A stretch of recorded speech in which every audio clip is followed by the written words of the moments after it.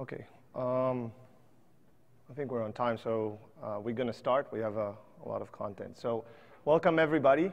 Uh, we're going to talk. This is the talk about lessons learned about scaling Yarn to 40,000 machine. My name is Roni Burd. I'm a principal software engineer manager at Microsoft, and I'll be joining today with uh, Hitesh and Sarvesh is going to give some detailed uh, about some of these lessons. So let me start by saying uh, which one, where is this uh, large cluster? And today, I think we're the largest cluster in the world. Uh, it's called Cosmos. And Cosmos is a platform, a big, big data platform that we use inside of Microsoft to run big data processing. And to give you a rough sense of the numbers, uh, Cosmos is composed of multiple data centers around the world. Each one is at least 40,000 machines. We stored a bunch of exabytes in here uh, and processed many petabytes over the day, which results in roughly half a million jobs per day, uh, which pushes uh, about 2 million containers per hour. We like to run these data centers really hot, so utilization is extremely high on these data centers. And because this is used as a platform for our developers inside of Microsoft, there's a certain expectations of availability and reliability that we have to keep that everyone uh, expects on a cloud service. And so today the talk is about this journey. We move this existing service, this massive service that's used across Microsoft over to Yarn. And the reason we did that is obviously we wanted, we got a lot of feedback that people wanted to start using op more open source tools. We use a uh, proprietary open source, um, sorry, a proprietary application I'm going to talk to you a little bit about. But in addition to that, there's obviously a force multiplier when you're using open source software. You get benefits of the community contributing, looking at your bugs, and also being able to collaborate with them. And so we wanted to be part of that community as we continue to increase our platform. So for those who don't know, I'll introduce you to some uh, important concept of Cosmos and, uh, and because you have to understand and get an intuition of the implication that that had for our journey uh, to get Yarn installed in it. The first one is I kind of mentioned we, we run uh, a lot of different types of application, not only Reef and Co Reef Code, Spark, Hive, but we run our own AMs, which are called Scope, and I'll tell you a little bit more in details about that in a second. The important thing that we had through this migration basically is we had to keep the existing legacy system running as we move them over. The other interesting constraint is we run both SLA and non-SLA job in the same data center. These data centers are pretty huge. We don't partition it in any form or shape. And so uh, we have to try to keep both of them running. And the way we do that is we give our customer this concept of a virtual cluster. A virtual cluster is nothing more than a logical concept that sets an upper limit of how many concurrent containers can run for that particular job. Obviously, these virtual clusters are mapped to, it's a logical concept. They're not tied to physical machines. The physical machine are shared across all the tenants. And if there's capacity that's not being used, it gets used uh, by some other tenant for some other reason. So the last one is, I don't think this is unique to us, and I think it's uh, very common to everyone who's running a large data center, is we have to maximize both COGS and try to reduce latency at the same time. So this forces us to some of the design principles. So the, one of the reasons our data centers are so big is because we want to minimize data movement as much as possible. We also put a premium on data locality, and we'll tell you a little bit about that in a second, but that's really becomes incredibly important to us. The other thing is we have metrics and telemetry to really keep an eye on our COGS. We look at CPU, I.O., throughput, uh, bandwidth, and everything all the time to make sure that we don't leave money on the table, especially at this large scale. It implies a lot of millions of dollars if we do that. So let me talk to you a little bit about scope uh, and how it's slightly different than some of the other applications that you are maybe familiar with, like uh, Spark and Hive. So this diagram just represents in the bottom, you get like a basic representation of a cluster with some racks and NMs. And on the upper right, you have the logical view of what scope will see when it starts running. And so the y-axis will be, you know, how many containers can be run at a given point in time. You have this line that scope respects, which basically says you cannot go above this number of containers at any given point in time. That ties back to that VC concept I explained a, a, a minute ago. And obviously you have time. So when a scope AM job gets launched the first time around, scope see how many containers it can run, it goes and then dispatches a wave of containers to the cluster. After those containers are finished, because normally everyone finishes at the same time, there's another big wave that come in and makes a request to other sets of machines.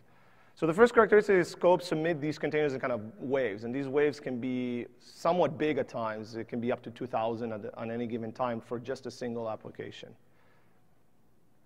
As I mentioned, we have multiple applications running at the same time. So in order to achieve the SLA that we promised everyone, what we do is for each one of that maximum line that we give each application, it's basically less than the total available capacity that we have in the cluster. If anyone has run a cluster, immediately you'll recognize this leads to underutilization, and that conflicts with the previous statement I made that we want to run this cluster is really hot. And so the way we solve that particular problem is by using Mercury. So Mercury was introduced uh, last year by uh, Sriram and Costas. And one of the concepts that we use from Mercury that's been really important for us is this concept of opportunistic containers. Opportunistic containers are containers that get dispatched directly to the NM, and, and the NM makes a local decision to do if there's enough capacity to start the container immediately. Otherwise, it gets queued. And so I, will refine a little bit the diagram that I had before where you have all these containers and you have a maximum capacity. So now scope can decide after it gets to its peak of, of capacity, it can start firing these opportunistic containers. It's kind of the graphical representation of what opportunistic containers will look like. And so once the guaranteed container finished, scope has a choice. He can either go and say, give me the next wave of guaranteed containers, or he can say for the opportunistic containers that he already dispatched, he can come and say just uh, promote them or change them from opportunistic over to guaranteed. So one, if there are collisions, because they'll, they'll happen as opportunistic containers start on the box, in order to avoid those collisions, if a guaranteed container comes, we actually pause the opportunistic container in the box. Uh, there's an open JIRA out there that Hitesh actually contributed, and we're looking for feedback for that and, and committing it soon. Uh, and this helps us preserve COGS. We don't want to lose work or anything. Just to give you a rough sense of how our data centers are running, these are two graphs that represent two data centers. One is a test uh, cluster, the other one is more of a production one. Uh, we're running them incre incredibly hot. Most of the computers are running at 100% CPU utilization almost. So these clusters are really, really hot all the time uh, just by using this technique if, just to give you a graphical representation of this, uh, scope AM is represented here, and you have yarn RM and NM. So the first thing that normally all applications do today is an allocate call to yarn RM. Uh, this, the yarn RM will then put it in the pending queue, and after a scheduler tick, it will move it out to the allocated queue once there's enough capacity, and on the next heartbeat, it will respond back. Uh, opportunistic container gets directly launched and responded automatically uh, because YarnRM doesn't uh, care. It's just an NM decision at that point. And then scope also can say, I'm going to promote opportunistic container over to guarantee container. As I said, if there's a contention, an opportunistic will move out from the running queue over to opportunistic queue, and when the, the space gets available again, it will get pushed back uh, in. In this diagram, you also see there's this component called Scope Auxiliary Service that we run on the NM. It's a feedback loop over to Scope to tell him uh, how uh, the load in the cluster is in order to be able to make better locality decisions and what is the expected time are going to be. So the important thing is not, and from this diagram, not only the behavior of how do we do opportunistic containers, to understand that because we're using this technique, in aggregate, the number of QPSs that we submit to Scope RM are actually pretty high can be up to 10,000 QPSs across the entire cluster. The last thing I want to talk about uh, scope is how sensitive it is to latency. So even though scope today is mainly a batch system, if we do a histogram of all the container runtime, you'll see that we have the big runtimes like 30 minutes, an hour containers, but we also have extremely short containers, like 10 to 20 seconds. If we I think last, last I checked, more than 50% of all the containers were running less than 20 seconds. So that means that any delay in this path that I just explained, the allocate, the response, and the start container will produce, have a big implications in terms of performance. And not only that, Scope is smart enough to figure out if it's waiting for too long, he has to start routing it to other machines in order to avoid that delays. And if there's too many of these rerouting, he will consider it the job has failed. And so we have to uh, be, care be careful of that. And the other interesting tidbit is we kind of run the math at one point, and 20 seconds in terms of opportunity cost is equivalent to several millions of dollars of wasted time. So uh, we really take uh, good care of making sure that latencies are low. And finally, because of this, uh, and because Scope is also extremely smart about figuring out locality decisions, so uh, because it has a lot of built-in optimization inside, he can detect whether a join uh, comes after the previous stages, and so he just does not go and ask for containers before he knows exactly where to schedule it. Uh, for group buys, it can act, uh, rack uh, locality um, on specific machines. And so because of all of this, and he has all this view through this aux service of the entire cluster, he makes like very opinionated decisions about what locality he wants. And so this is really important for our particular workload that has some implication on some of the findings that we had on Yarn. I think uh, most, most people have the same topology, so really rack and node for us are very similar. Uh, off switch is definitely bad. And so the two takeaways that I want you to remember from this one is container allocations need to be really short, and we quantify that by saying it has to be less than five seconds at the 95 percentile. That's kind of the SLA that we give our, uh, our applications. And the final one is this, you know, very opinionated node locality uh, desire. So node locality is very important to us across the data center. So with that, uh, today, what we're going to cover are two lessons that we learned from all of these constraints. The first one is how did we scale Yarn to deal with these constraints in general, and what did we find? And the next one is uh, how do we scale uh, Yarn to even larger scale? So for that, I would like to invite Hitesh. Hey, thanks, Roni. Hey, everyone. I'm Hitesh Sharma. I will be talking about some of the scalability challenges that we had with uh, Yarn RM, what problems we had, how we are fixing them, and then share some numbers. Before we get, in, get into that, I want to highlight some main characteristics of the scope workload that make things interesting from a, from a Yarn RM scale perspective. Like Roni called out, scope can span across uh, thousands of machines, so the number of allocations that we received are a much magnitude higher than we would have in other workloads. Also, scope can uh, see the entire cluster and picks up the machine where it wants to run. So it's important for us to respect uh, that decision and uh, give that node if there is capacity or space on that node. We also have to ensure that the container allocation latencies are below 5 seconds at the 95th percentile because that relates into job slowness and in worst case failures. So what are the problems that we had? As we started to run scope jobs on our clusters, what we were notice, noticing is that some big jobs can actually overwhelm YARN-RM. What I mean by overwhelming YARN-RM is the allocation latencies would start to go up, then locality would become bad, and eventually YARN-RM would just stop allocations altogether. Now, the other challenges we had is any kind of scale testing on a real cluster is an expensive process. Also, we felt that there was a lack of telemetry, like knowing what's happening inside the scheduler for us was not straightforward. So here is one uh, example of uh, a case where YARN-RM could not allocate containers fast enough. In this particular setup, we had uh, a test cluster with 3,000 nodes. We were running uh, Hadoop 2.7.1.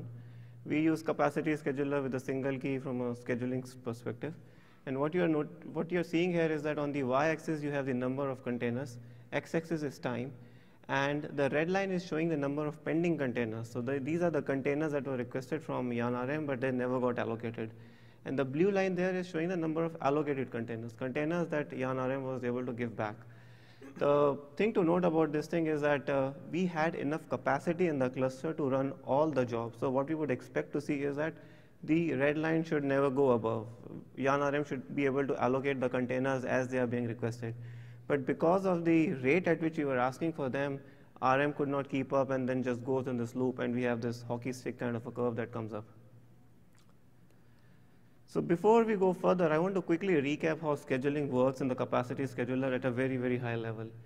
At a high level, you have these application masters which are sending allocations to YARN-RM, and when RM receives the allocations, they go in the spending queue. Now, scheduling in the capacity scheduler is driven from heartbeats. You have these node managers that are also heartbeating to RM. And when YARN-RM receives a heartbeat, it takes a lock on the queue and says, okay, what can I satisfy on this particular node out of the queue? And uh, if there is a request for a container on that node, then RM does the allocation. Otherwise, it will just look at the next item in the queue. The interesting thing here is that all the node heartbeats are coming and we are looking at all the, all the requests in the queue. So you take a log, you go, you take, a, you take a log and you look at all the node heartbeats one after another. So there is a sequential thing that's happening.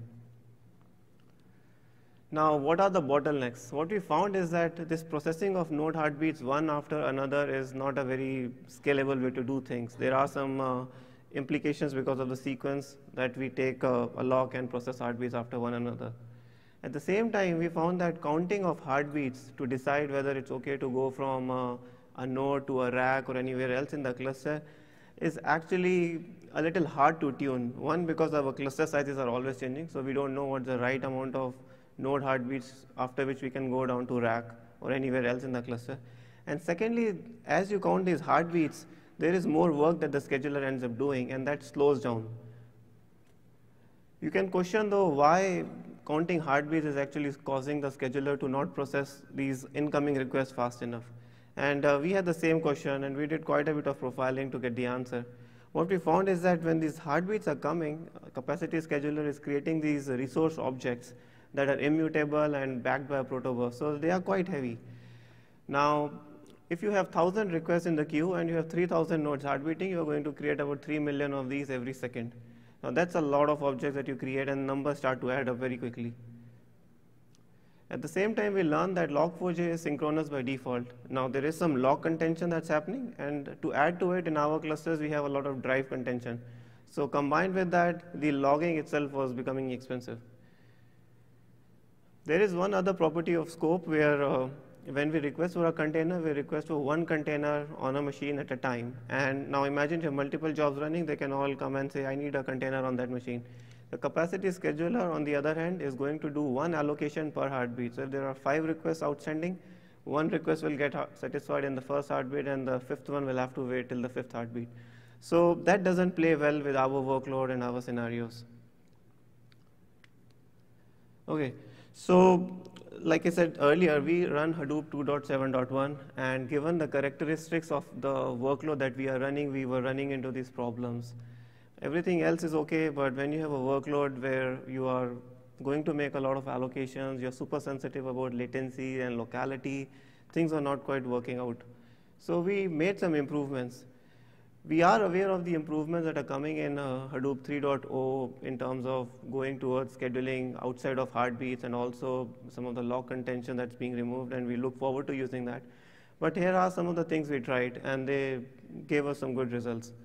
The first thing we did was to go towards uh, something called scheduler key pruning. The idea being that when the node heartbeat comes, you do not look at everything that's there in the queue you look at what requests can actually be satisfied by that uh, node or that rack. And that way you eliminate a bunch of the extra elements that are there in the queue and you avoid looking at them. The second thing we did was to go towards time-based decay for locality. What it means is instead of counting heartbeats to, to decide that we should go from node to rack or anywhere else in the cluster, we now wait on time. So there are two implications. One, it's much easier for us to tune that we can say, hey, if after three seconds the request is not satisfied, you allocate on the rack. Or if another three seconds have passed and the request is still not satisfied, you allocate anywhere else in the cluster. And also, now because of this, we do not have to count all the heartbeats and we don't have to create all those expensive objects. So we again reduce the amount of work that's happening inside the lock when we are processing the node heartbeats.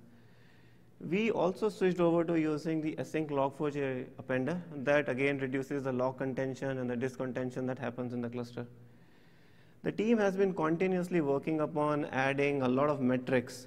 So we now have a much better visibility into what's happening inside the scheduler. We track uh, allocation latencies, promotion latencies at the different percentiles. And that allows us to keep the lights on for the service without really killing ourselves. And uh, we'll have a screenshot of some of the tools that we use uh, for tracking these metrics. So here are some uh, test results. These results were uh, collected from a cluster where we had 4,000 nodes. We had uh, Yarn RM getting heartbeats from node managers and application masters every one second. We were using the log4j async appender here. Now, before we did anything, uh, the first stage shows the improvements or the numbers that we had. We had allocation latencies at about uh, 10 seconds. We could barely sustain a load of 500 allocations per second, and uh, locality was quite bad. With some of the changes we did, we saw some improvements. For instance, by limiting what by limiting what outstanding requests each node heartbeat looks at, we could actually sustain a much higher load of about uh, 2000 allocations per second. At the same time, our allocation latencies fell to 4 seconds at the 95th percentile, and the node locality also improved. Taking it further, we tried the next thing of saying, okay, let's decay locality based on time. So instead of counting heartbeats, we now say, hey, it's been three seconds and the request is not satisfied, so maybe let's go to the rack.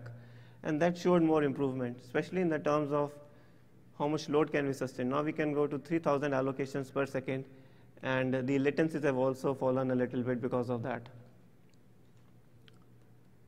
So here again, we have the pending and allocated graph. On the left is what I showed you guys earlier, but on the right is the same workload that we ran, but this time we had the improvements made. So you can see RM or Yarn RM has no issues in keeping up with the rate at which we are requesting containers. Things are moving along quite nicely. And uh, the allocated containers is always above the pending, so the red line never goes out of control. So here is a dashboard that I mentioned earlier. So you can see the different metrics the team has been adding. We are tracking percentiles for uh, and QPS for allocations and promotions. We have a view to show us how many containers are queued, how many are paused. So that kind of gives us a sense of how much oversubscription is happening in the cluster. We are tracking locality to, to know whether we are doing more rack assignments or more off-switch assignments. And also we can see our pending and allocated containers over there. So earlier I mentioned that uh, scale testing is an expensive process. It is a long cycle. You deploy something, you generate the workload, you gather the logs, and then you start to analyze whether it helped or not. And that for us was becoming a problem. So we switched over to using SLS. SLS stands for Scheduler Load Simulator. The community already had the tool since Hadoop 2.6, and we leveraged it. We extended a little to generate workloads that kind of uh, match our workloads. So now we can request a wave of allocations, like Roni was describing, follow that up with a wave of promotions, and then do some uh, opportunistic allocations along the way. So using all that, we could actually mimic the workload that we had and actually see the problem happening on a one machine under our dev setup, and that allowed us to iterate a lot faster. So a big shout out to everyone who contributed to SLS. This tool has been a lifesaver. We use it for pretty much any changes we do to the scheduler or any of the other scale aspects. So with that, we can now scale a yarn to about 4,000 nodes against our workload, but how do you go to 40,000 nodes and beyond? So for that, I'll hand it to Sarvesh. Okay. Thanks, Hitesh. So I am Sarvesh Sakalanaga. I'm the Senior Engineering Manager here at Microsoft. So as Hitesh mentioned, first step was for us to scale yarn to the max per a single subcluster or per single RM. And we're able to scale yarn up to 4K nodes. The second step that we had was how do we scale yarn to up to 40K nodes. Last year we were here talking about yarn federation. What yarn federation does is it basically partitions the cluster in such a way that an app can seamlessly run on the 40K nodes. So, okay, sorry. So the high level overview of Yarn Federation is as follows. So imagine we have a set of servers in the data center. The first step about Yarn Federation is to partition this cluster into subclusters. These clusters are standalone uh, clusters which are about 4K nodes.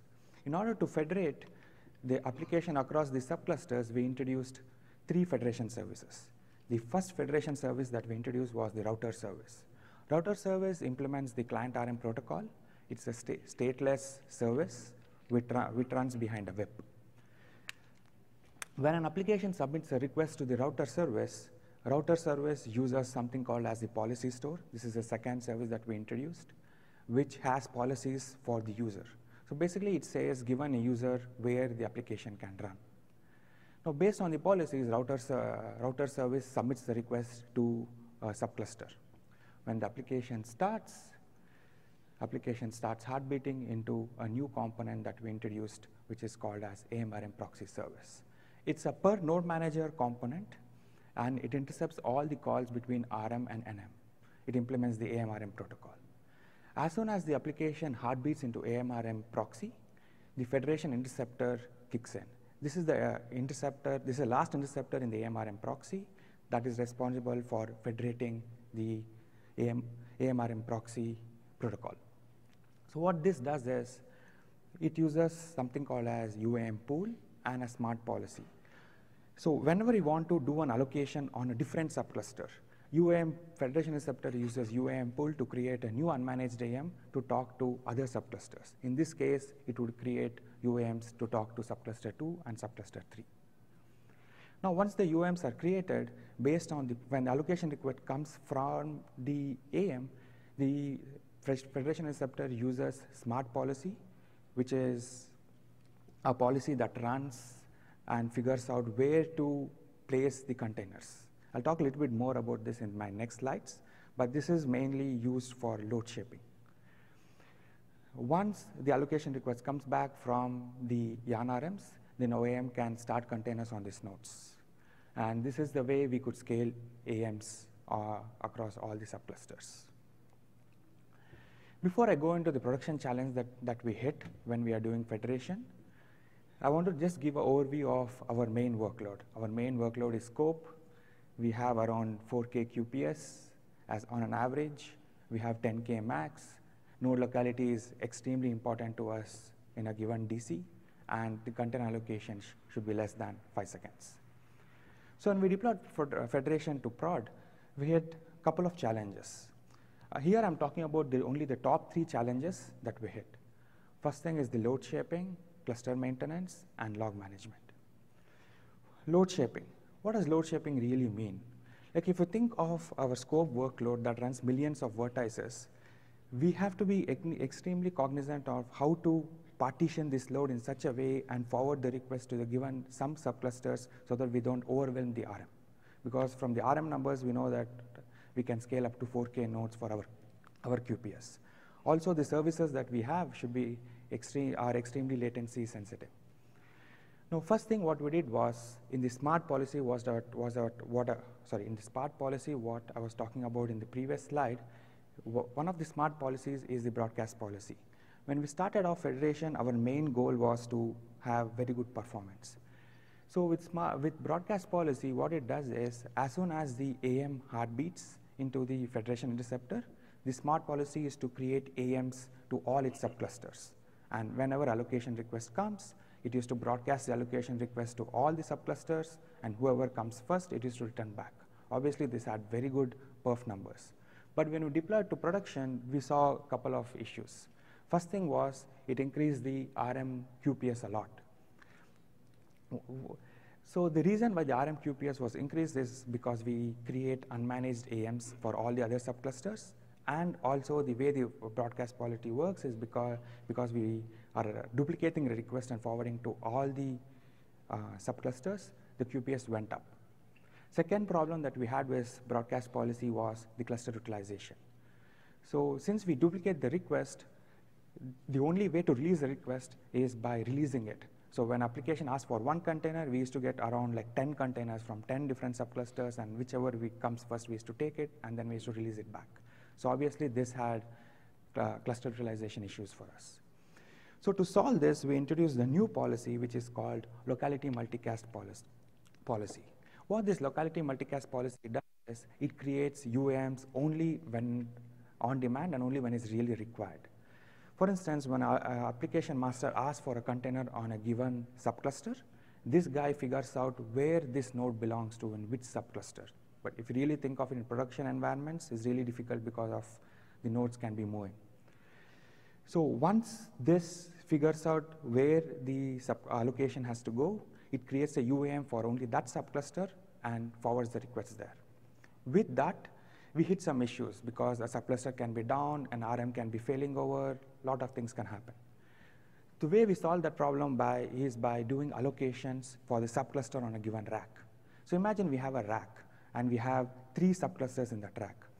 So this loca locality multicast policy broadcasts the request only to those three subclusters, not to the entire world.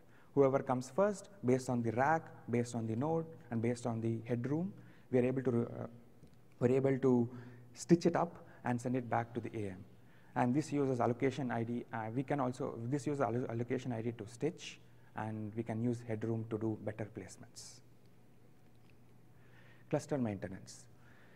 Uh, because of our scale, cluster main, just maintaining our cluster was extremely dif difficult for us. Our DC has constant machine movements, and around a 40k node machines, we have around 13 subclusters, which sums up to around 52 yarn RMs if you take the master-slave configurations. Now, just searching for, just maintaining these clusters, uh, because we have a lot of machine movements, and we also keep decommissioning the racks and moving machines around was difficult. So to solve this, we introduced a new component called subcluster manager. This is a component that runs, this is not a yarn component, this is a component that runs with yarn to make sure that we don't over, over subscribe some of our subclusters. It does three main things. It does node to subcluster mapping. In the previous slide, when I was talking about the locality multicast policy, one challenge that we had in prod was to figure out where this node really belongs at any given point of time. So this is the guy that maintains that mapping. So when the locality multicast policy asks this guy to say, where is my where allocation request came for a node, tell me where this node is, which subcluster. And it resolves to a subcluster and forwards the request to that subcluster. And it does dynamic balancing. Second point is it does dynamic balancing of subcluster capacity. What uh, dynamic balancing means if you have a lot of overloaded capacity in some subclusters, it can move the subcluster, move some nodes to a different subcluster. It does this by something, a concept called as NM maintenance mode, which is mainly draining the containers and pushing the nodes to different subcluster. This is not like a node restart because one key point here is when you make the node manager heartbeat to a different RM, it kills all its containers because that RM has no clue what these containers are. But at a very high level, this is how it works. So we have a subcluster manager in our cluster, and we have two yarn subclusters. Now imagine we had the third yarn subcluster. Now the subcluster manager, based on its algorithm, figures out saying I have to do some draining and I have to move some nodes. So it calls into the node managers and puts them into something called as maintenance mode.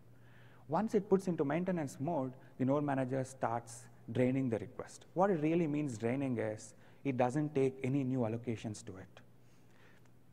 The existing containers are just left there to finish. Once all the containers are finished, so, that, so the subcluster manager can now pivot this to the new subcluster. At a very high level, this is how um, the machines uh, are added, and this is how the cluster maintenance happens. Log handling. Because of our scale, log handling is one of the biggest problems that we had. We generate around 2 petabytes of logs per day, and we have around 2.5 gigabytes per hour per machine logs. To solve this problem, we did four very high-level things. One thing is we introduced a custom log aggregator, which works with our scope AM to keep logs only for critical path containers and failed containers. Critical path containers are containers that actually slow down the job. Like for instance, when our scope AM runs millions of vertices, we don't have to keep logs for everyone because it doesn't make any sense having and managing so many logs. So we only create critical path containers and failed, of course, because we have to debug the containers. The second thing that what we did was from the customer point of view, now the customer had to get log aggregated things. We introduced on-demand log aggregation. So we don't do log aggregation when the container finishes the customer can come at a future point up to seven days is our SLA, and he can run this tool and it will give us the logs for him. Third thing, what we did was for the yarn logs itself, it was very difficult for us. Like imagine debugging uh, a million job vertices on one yarn RM, and now we have 13 yarn RMs. You had to know which RM was mastered at which time, what to do, how to search. So we built a tool, call, tool called as Helios, his internal code name, which indexes yarn logs based on uh, key value pair. So we have keys like for allocation ID, container ID, application ID, and some, some of the keys were usually used for debugging. And this guy indexes it, and whenever a live set happens or whenever we want to see what happens to the job, We, we have a predefined template, we push it to it, and then that shows exactly what happened to this entire application end to end. Last but not the least, we have we introduced Scope AM aux service. This is an aux service in the node manager that keeps some key container statistics. One of the key container statistics that we have that I want to call out is, for instance, when this container ran on this node, we wanted to know who was the master RM and to which subcluster this node belonged to.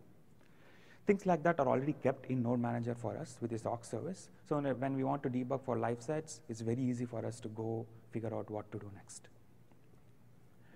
Next steps. So we like we are investing in a lot of areas. The three major areas where we are investing is mainly in the scalability side. We are scaling Yarn across data centers. Now we're able to scale up to 40K nodes now across data centers, which introduces a lot of policy decisions that we have to make. Utilization is one more place because if the container, if we are able to get 1% utilization gain, it's millions of dollars for Microsoft. And operability for obvious reasons because of subcluster uh, cluster maintenance, log management, and, and we are also looking for ATS v2 and seeing whether it can scale to our needs. We are fully committed to Yarn and open source.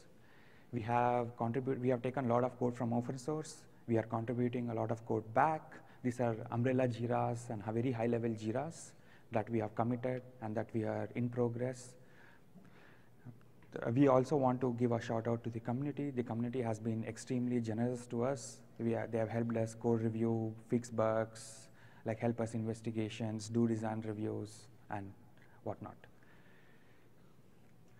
So to conclude, guys, we are running the biggest Yarn deployment in the world.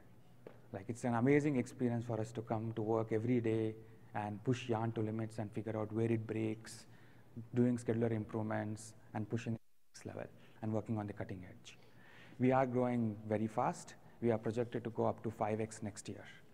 We are onboarding a lot of OSS workloads, and it's very interesting to see how it works with our workloads, what else we have to do in Yarn to support all this. And to sum it up, we have come a long way from where the was with uh, four, uh, around uh, 400 QPS to where we are today up to 10K max QPS. And our journey has just started. With that, I would like to thank everyone for attending, and thanks a lot. And we are open to Q&A now.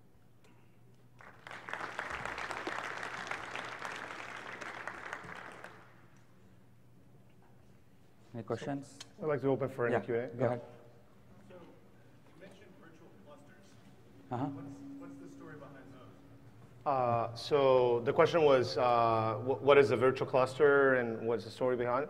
So virtual cluster are uh, a concept that we had before we started the migration to Yarn. And effectively, they were just a way for our customers, they don't have to deal with any deployments or any server or anything like that. All they come to us and say, I want the ability to run up to 10,000 containers. Okay, here's your virtual cluster with 10,000 containers. And then we just do admission control to make sure that whatever they submit doesn't exceed that 10,000 container at any given point in time. So that's effectively it. It's also a security boundary, so you can mount uh, the file system to that virtual cluster, and you can share mount points across VCs if you wanted to do that. So, so that, that's kind of a little bit of a, that. And so we, when we move uh, our system over to Yarn, we maintain that uh, specific uh, semantic of a virtual cluster.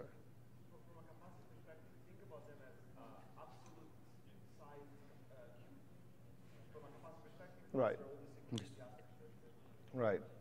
So, so how do you manage queues across all these federated We don't right now. It's a very good question. Actually, the question, let me repeat the question. The question is how do we manage queues across federated subclusters?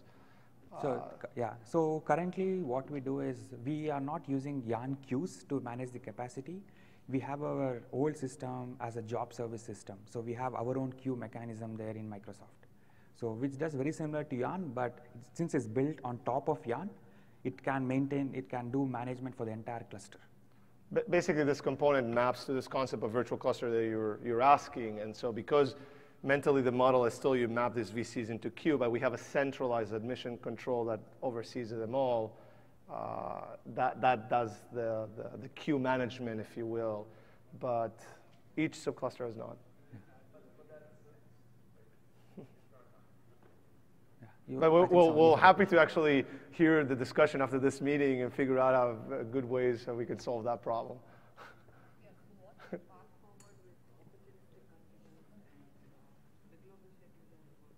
So the, the, the question is what's the path forward with opportunistic uh, containers and, glo- and The global scheduler. the global, Global scheduler? scheduling. So, yeah, so go over. Go ahead. So for the global scheduler, we are looking forward to all the improvements there. I think uh, th- those are the things that we would like to try on and start using. There are a lot of good improvements. We kind of worked around them. We, we we didn't try to solve the locking issues or any of the like go towards a design of heartbeat less scheduling. But that's what's coming in 3.0. So we look forward to picking them up and seeing if they can work at our scale and start using them. As of opportunistic so currently, opportunistic containers, like Roni uh, called out in his uh, presentation, they are allocated from the YARN but they do not follow the regular scheduler path. So one of the reasons was to minimize the overhead on the scheduler. But as the scheduler is scalable, I think there's an option on the table to say it can potentially follow the same code paths. And, and there's an opportunity to like distribute the queues. That's something that we're actually exploring as well. That if you actually submit the opportunistic container to Yarn RM, he can see how the sizes of the queues are and make an informed decision of maybe it's worth sending this one to this location, that one. So we're also exploring that as well.